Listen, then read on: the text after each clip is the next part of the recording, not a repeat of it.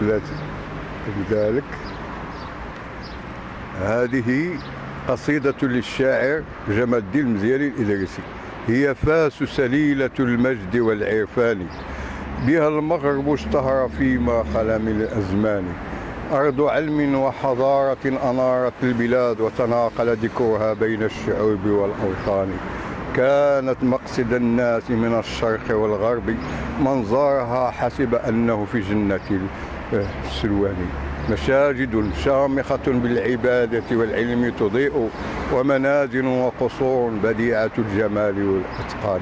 هذه جامعة القرويين شاهدة العز وكذا مسجد أبو عنان ومسجد العطار يا أختي إن التحرش في هذا الوقت سببه انعدام الأخلاق والتربية. كما أقول لكم في كلامي. إن ما تعلمته في صغرك ينفعك في كبرك. وانعدام الأخلاق هي السبب لهذه الأشياء. الولد ولا البنت؟ للبنت وللولد. علاش البنت؟ البنت انعدام التربية. والأب والأب والأم هما السبب في هذه المشاكل. يعني أن العالم القروي العالم القروي في 1964 وكان بغاو هاد الإخوان يديروا التربية والأخلاق في العالم القروي كما كان قديما. لن يقع هذه هذه الأشياء. فإن مدينة فاس أصبحت مدينة مخربة من كل الأشياء. يعني السبب الرئيسي هو التربية. انعدام التربية. لأن كما قال الشاعر فمن ذهبت أخلاقهم ذهبوا. وما قال النبي صلى الله عليه وسلم إنني أكمل مكارم الأخلاق. في شي وحدة من الأقرباء تعرض التحرش مشات للقانون مشات للقانون مشات فايت لا حنا التربية المدينة القديمة. أنا أنا ابن الطلعة الصغير لم يكن لنا التحرش أبدا. كنا ندافع عن الفتاة. فهمتني؟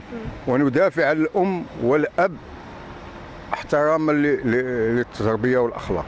يعني كتشوف في هذا الوقت؟ ولكن في هذا الوقت ما كاينش دفاع عن هذا نظرا انه القوانين التي جاء بها المشرع كلها من من الخارج. ولكن الإبداع اللي غنبدعوه حنا ما تيخليوناش نبدأو. ولهذا فعلينا أن نقوم بالتربية والأخلاق في جميع المقاطعات على كل مقاطعة أن تعمل على التربية والأخلاق. لأن المقاطعة ما هو عمله ليس عمله هو البناء وهو هذا وهذا هو أنه تخلق الأخلاق.